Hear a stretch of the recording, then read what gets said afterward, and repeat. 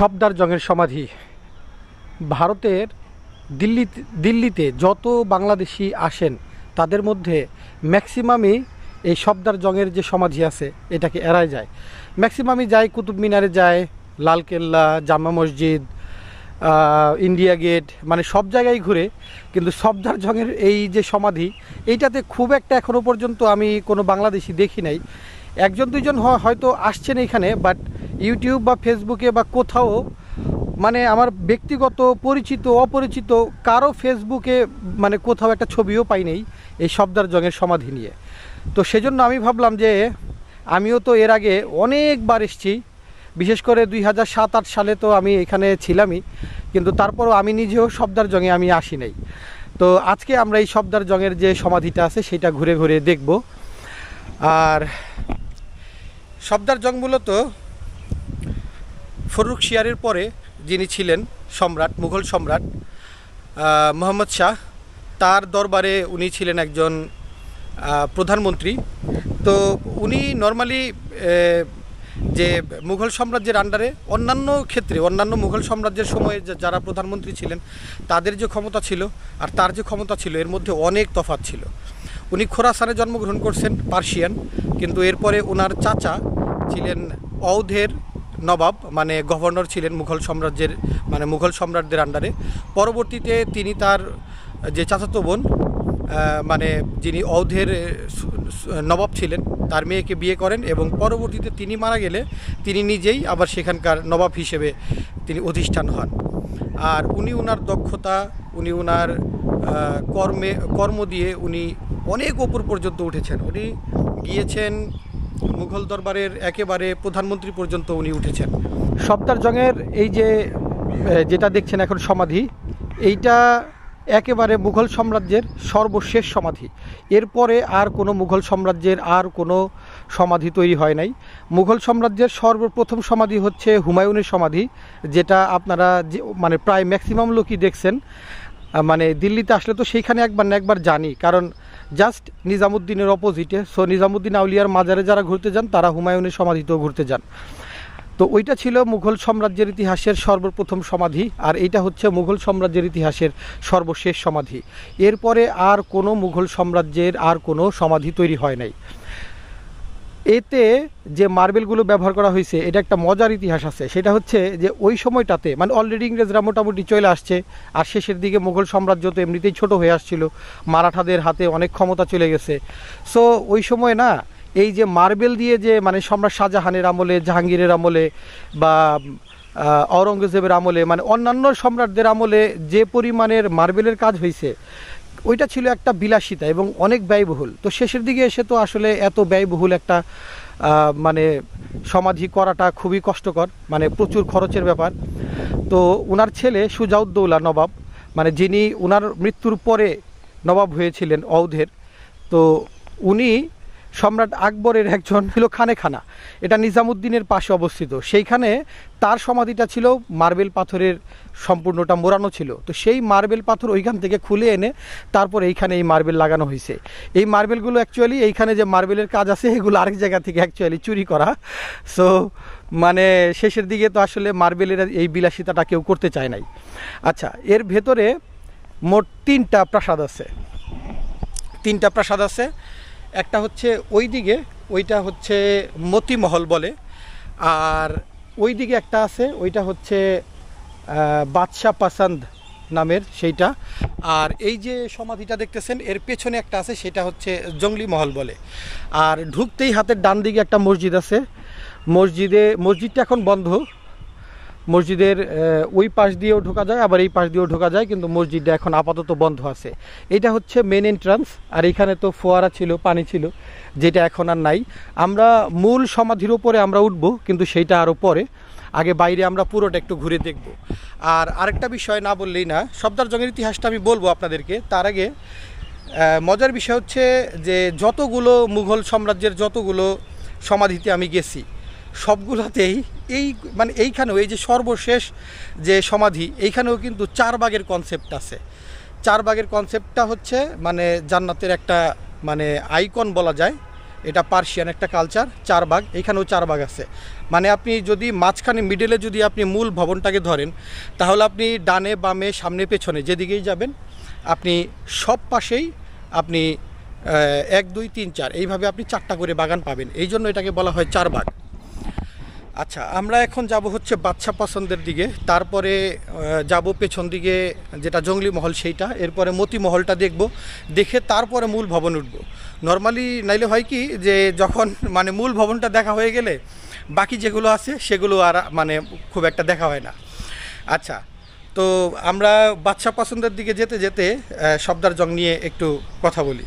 যদিও আমি ইতিহাসের স্টুডেন্ট না সর্দার জং উনি যখন অওধের নবাব হন, উনি ওনার কর্মদক্ষতা দিয়ে মুঘল দরবারে উনি প্রথমে মন্ত্রী হন, এরপরে প্রধানমন্ত্রী হিসেবে দায়িত্ব পালন করেন। তো মেহমেদ শাহর সময়ে উনি এত বেশি ডিফ্যাক্টো হয়ে গেছিলেন যে রাজ্যের মানে মুঘল সাম্রাজ্যের ম্যাক্সিমাম সিদ্ধান্ত তার হাতে হতো। এখন একটা পর্যায়ে সব জায়গায় তো থাকে যে একটা দরবারের মধ্যে অনেক চক্রান্ত হয়, অনেক কূটকৌশল একে অপরের পেছনে ষড়যন্ত্র করে। তো যারা তার বিরোধী পক্ষ ছিল, তারা নবাবকে সরি সম্রাটকে বোঝাতে সক্ষম হলো যে আস্তে আস্তে উনি যেভাবে পাওয়ার উনার, উনি কুক্ষিগত করতেছেন, উনার, উনি ক্যাপচার করতেছেন, এতে এক সময় দেখা যাবে যে মসনদে সেই বসে যাবে। তো এখন চাইলেই তো আর হুট করে তাকে মানে সরানো যাবে না, কারণ উনি এরকম একটা পাওয়ারফুল একটা জায়গায় বসে আছে। সমগ্র হিন্দুস্তানের উজির উল হিন্দুস্তান ওনাকে উপাধি দেওয়া হয়েছিল। তো এখন যখন কিনা উনাকে মানে সরাসরি সম্রাট সরাইতে পারতেছে না তখন মারাঠাদেরকে মারাঠাদের কাছ থেকে হেল্প চাইলেন সম্রাট মেহমুদ শাহ। উনি হেল্প চাইলেন যে তোমরা আমাকে এখন ওর হাত থেকে উদ্ধার করো ওকে বিদায় করো। তো তখন কি করলেন যে মারাঠারা আসলো মারাঠারা এসে দিল্লি থেকে আহ, সর্দার জং যিনি আছেন ওটা ওনার উপাধি ছিল। ওনার অ্যাকচুয়াল নাম হচ্ছে আবুল মনসুর। তো সর্দার জং হচ্ছে ওনার উপাধি। তো সর্দার জং ওনাকে আবার অউদে ফেরত পাঠানো হলো। উনি এক একই টাইমে উজির উল হিন্দুস্তান, পাশাপাশি উনি অউধের নবাব কাশ্মীরের নবাব হিসেবেও উনি ছিলেন মানে গভর্নর হিসেবে ছিলেন। একই সাথে দুইটা তিনটা স্টেটও উনি পরিচালনা করতেন। তো ওনাকে আবার বিদায় করে দিল। বিদায় করে দেওয়ার পরে, এরপরে উনি ওইখানেই তারও কিছুদিন পর্যন্ত উনি বেঁচে ছিলেন আরও বেশ অনেক দিন তারপরে উনি মারা গেলে ওনার যে ছেলে, পরবর্তী নবাব সুজাউদ্দৌলা, উনি সম্রাটের কাছে আর্জি করেন যে তার বাবার জন্য তার স্মৃতির উদ্দেশ্যে উনি একটা সমাধি ক্ষেত্র তৈরি করবেন। তো অনেক বলে কয়ে তারপরে সম্রাটকে উনি রাজি করান। রাজি করানোর পরে এই জায়গাটা সম্রাট বরাদ্দ দেয়। বরাদ্দ দিলে তখন উনি এইখানে তার বাবার স্মৃতির উদ্দেশ্যে এইটা তৈরি করেন। তো এই ছিল মোটামুটি ইতিহাস, তো আমরা পুরোটা দেখব। এখন আমরা বাদশা পছন্দ যে জায়গাটা, এই জায়গাটার মধ্যে আমরা চলে আসছি। আর জঙ্গলি মহলটা হচ্ছে ওই পাশে মানে ওইটার পেছনে মানে ওইখানে। আর ওই পাশে হচ্ছে মতিমহল। আমরা সব পুরাটাই একটু ঘুরে ঘুরে দেখব। এগুলোর ভেতরে ঢোকা যায় না মনে হয়, তালা টালা মারা আছে। যেহেতু ঢোকা যাচ্ছে না সো আমরা মানে জাস্ট সামনের দিক দিয়ে একটু হেঁটে যাব। হেঁটে পুরোটা একটা চক্কর দেব। চক্কর দিয়ে তারপর আমরা মূল ভবনের দিকে আমরা উঠে যাব।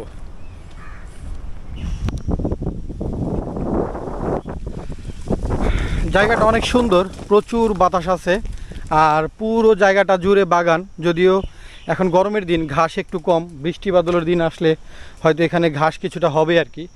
তো আপনারা যদি আসেন, আর সাথে যদি ফ্যামিলি বাচ্চা কাচ্চা থাকে, অবশ্যই বিকেল দিকে আসবেন। আর যদি শীতের দিনে আসেন, তাহলে তো কথাই নেই। মানে আসলে সচরাচর যাইতে চাবেন না, এইটাই। কারণ এটা যদিও একটা মুঘল স্থাপত্য, কিন্তু তারপরেও না, এইখানে লোকই নাই। দেখেন একেবারে পুরো জায়গাটা জুড়ে।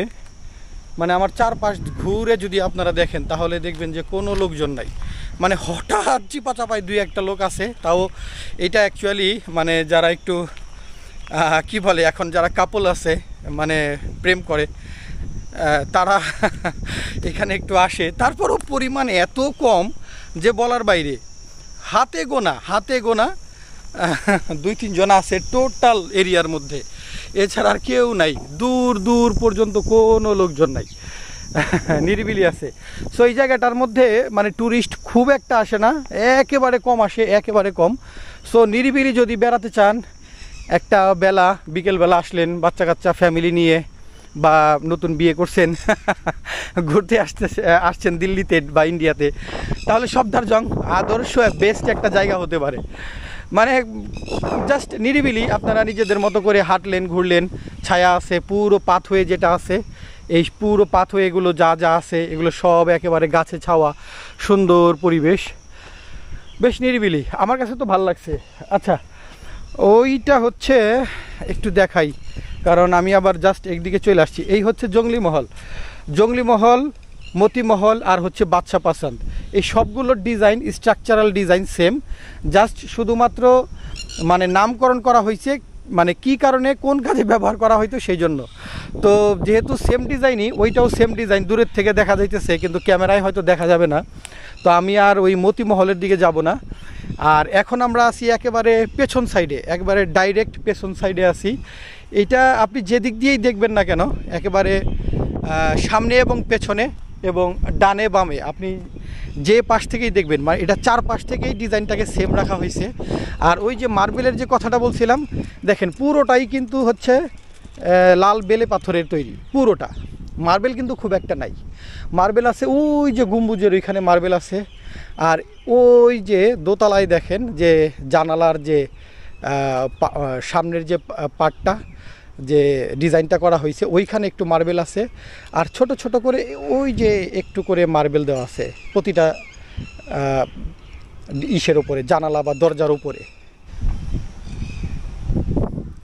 আমরা এখন উপরে যাব, এটার মানে পেছন দিক দিয়ে আমরা উপরে যাওয়ার চেষ্টা করি।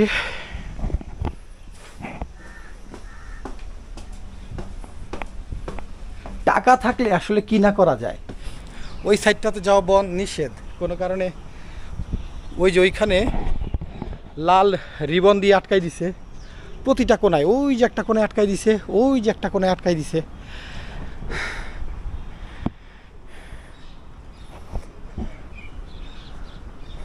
আচ্ছা ওঠার জন্য অনেকগুলো সিঁড়ি আছে। পেছনে ওইটা দিয়ে উঠলাম, এইখানে একটা, ওইখানে একটা, আবার ওই পাশেও আছে। আচ্ছা মূল ভবনে আমরা ঢোকার আগে এই পুরোটা একবার একটু ঘুরে দেখে আসি। Rena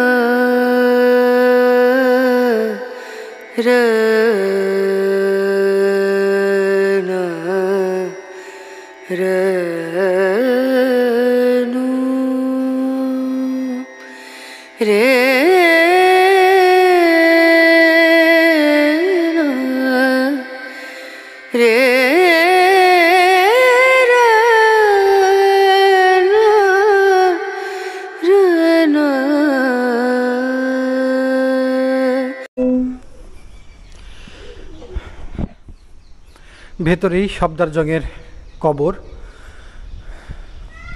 সালাম আলাইকুম।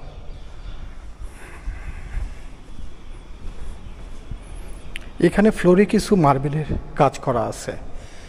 ভেতরের দেয়ালে কিছু মার্বেলের কাজ করা আছে। কিন্তু দেয়ালে মার্বেলের কাজ বলতে ওপর সাইডগুলো কিন্তু মার্বেল না মানে দেখা যাচ্ছে সাদা, কিন্তু অ্যাকচুয়ালি কিন্তু এগুলো মার্বেল না। মার্বেল শুধু এই যে, এই জায়গাটুকু, এই যে এইটা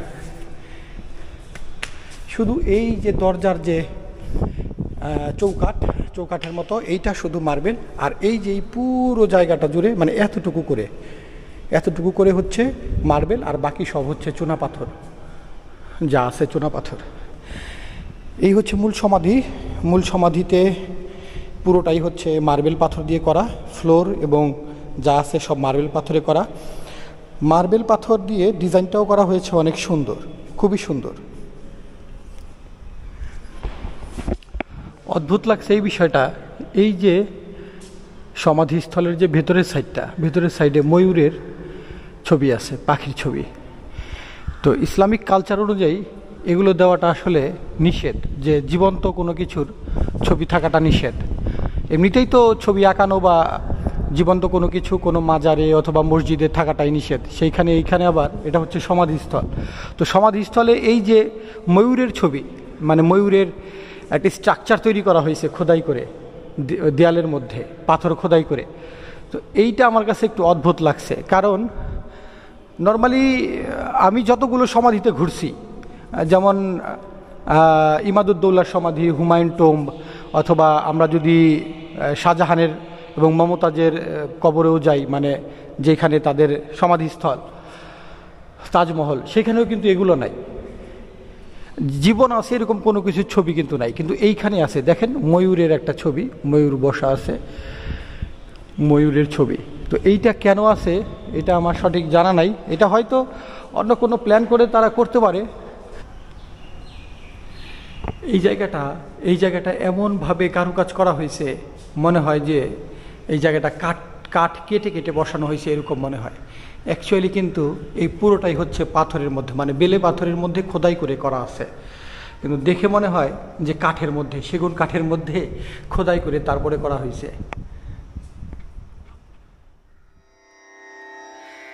Rana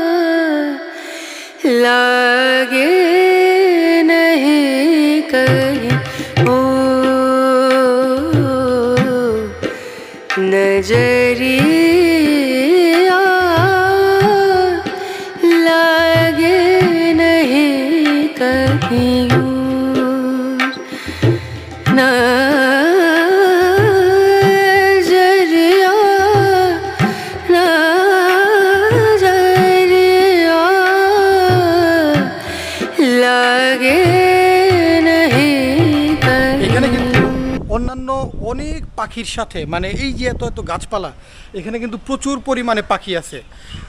আর এই পাখির সাথে কিন্তু ময়ূরও আছে।